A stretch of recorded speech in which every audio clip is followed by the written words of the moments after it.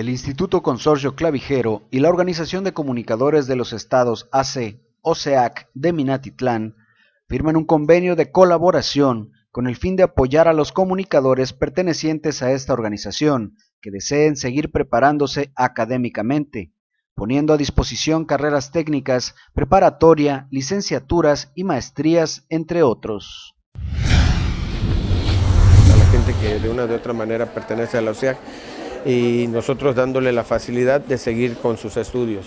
Nosotros traemos ese convenio firmando lo que es preparatoria, universidad y eh, maestrías para toda la gente que lo quiera estudiar. Es que todo en la vida tenemos que estarnos capacitando, estar constante. Si nosotros creemos que ya terminamos una carrera y hasta ahí llegamos, no, el mundo se va actualizando y qué bueno que ustedes también lo estén pensando de esa forma. Por eso les decimos, traemos diplomado en lectura y redacción, que es lo que más ocupan ustedes hacen, este, aparte de leer, redactan todas sus notas.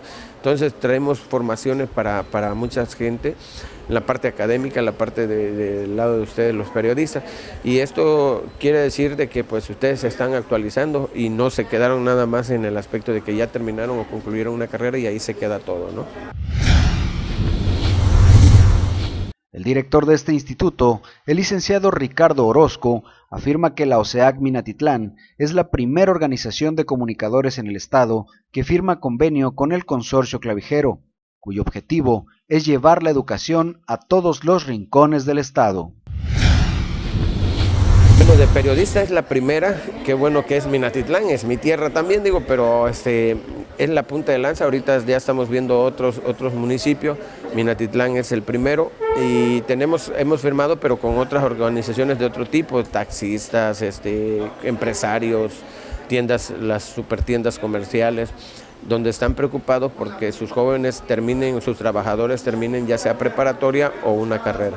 Queremos profesionalizar a todas las personas, siempre lo hemos dicho, la educación transforma las mentes y las, al momento de transformar las mentes, las mentes transforman los municipios, transforman los, estados y transforman los países. ¿no?